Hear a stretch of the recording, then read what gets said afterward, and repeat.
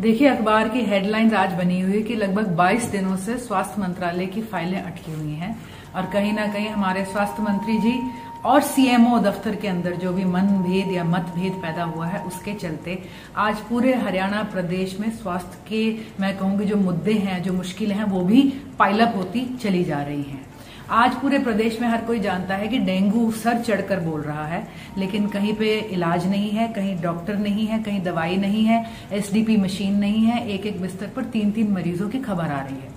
आज हेडलाइंस बनी हुई है कि हरियाणा का एक एयर क्वालिटी इंडेक्स बहुत बुरे स्थिति के अंदर है। देश के सबसे प्रदूषित प्रदेशों के अंदर शायद आज हम यहाँ पर हैं। लेकिन इसके ऊपर भाजपा सरकार का या हमारे स्वास्थ्य मंत्रालय का कोई ध्यान या बयान या कोई ठोस कदम अब तक नहीं उठाया गया है।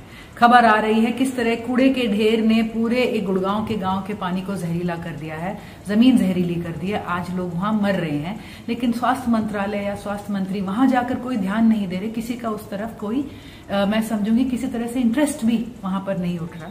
आज चंडीगढ़ के अंदर मस्कुलर एट्रोफी से सफ़र करने वाले लगभग 250 परिवार जिनके 250 बच्चे जो है उनके परिवार महीने से ऊपर से सरकार का दरवाज़ा खटखटा रहे हैं कि आपने हमसे वादा किया था पाँच लाख रुपए की जो है इलाज मुहैया कराने का, महीने का साढ़े सत्ताईस सौ रुपए मुहैया कराने का, आज वो कहाँ है? लेकिन एक, जैसे कहते हैं ना, हाथियों की लड़ाई में झुंड पिस जाते हैं, आज कहीं ना कहीं सीएमओ और हमारे हे, हेल्थ मिनिस्ट्री के अंदर जो ये लड़ाई है आज इसके अंदर जनता प्रदेश की पूरी तरह पिस रही है। हरियाणा में ऐसा लग रहा है कि जनता के प्राण जाए पर अहम ना जाए।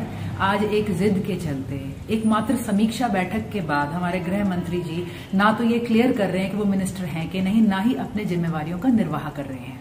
आज हम उनसे, आज हमारे प्रदेश की सरकार से यही कहेंगे कि ये मतभेद, ये मनभेद दूर करते हुए कृपया करके अपनी जिम्मेवारियों का, अपने दायित्व का आप निर्वाह करें। हमारे गृह मंत्री, जो हमारे हेल्थ मिनिस्टर भी हैं, वो कहा करते थे, मेरी फाइलें थ्री नॉट थ्री की गोली की तरह चलती हैं। और आज वो कह रहे हैं कि मुझे पता नहीं अफसर मेरी फाइलों के अंदर अड़चने डाल रहे हैं। तो हमें और देश की जनता को, आज प्रदेश की जनता को ये बात समझ नहीं आ रही। हम कृपया करके आपसे कहेंगे कि अहम को, अपने गुस्से को एक तरफ़ रखते हुए आज सिर्फ़ दायित्व की तरफ़ ध्यान दें और जनता की मदद करें। ताज़ा अपडेट्स व बड़ी खबरों के लिए सब्सक्राइब करें आज प्रकाश टीवी और बेल आइकन दबाना न भूलें।